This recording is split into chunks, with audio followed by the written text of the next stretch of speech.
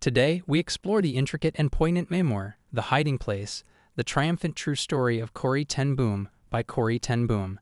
Set against the tumultuous backdrop of World War II era Holland, this narrative delivers an extraordinary tale of resilience, faith, and redemption amidst the shadows of Nazi occupation. Corrie ten Boom, born in 1892 in Haarlem, Holland, brings forth her life and experiences during the World War II period in The Hiding Place. At the outset, readers are given a view of the ten Boom family's serene life prior to the war's cataclysmic events. Their residence and watch shop, located in the bustling heart of Haarlem, serves as both a home and a center of community engagement.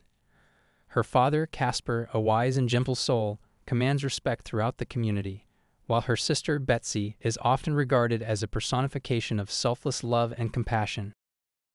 However, the world they knew shifts dramatically with the dawn of the 1940s.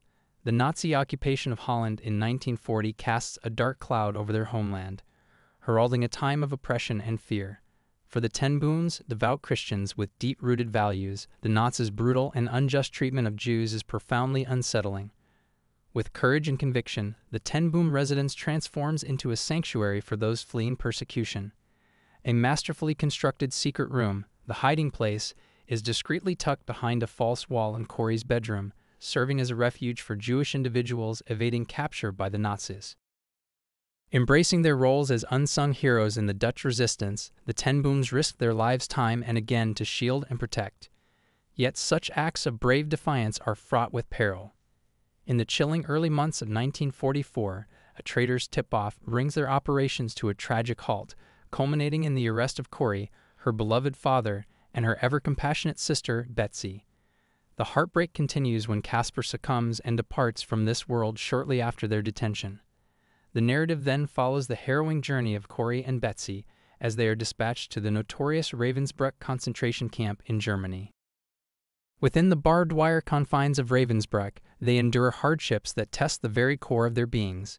Yet, even amidst such grim surroundings, Betsy's unwavering faith stands as a beacon of hope. Her devotion to the Bible and her steadfast belief in God's enduring love serves as a source of strength for many fellow inmates. Despite witnessing unspeakable atrocities, Betsy remains firm in her conviction that love will ultimately triumph over hate. Her passing in the camp is a poignant moment, but she leaves Corrie with a vision of their future, a future where they would share their story and spread the message of God's love. Fate plays its hand when Corrie is unexpectedly released from Ravensbrück due to a baffling clerical error. This release occurs just mere days before a mass execution is planned for women of her age group. Upon the war's conclusion, she returns to her native Holland.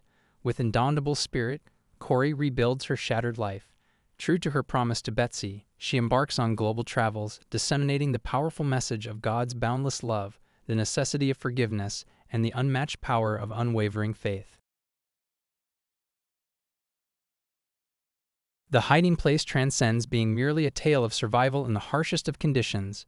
Corrie's vivid recounting showcases the human spirit's astonishing capacity to rise above even the most formidable adversities.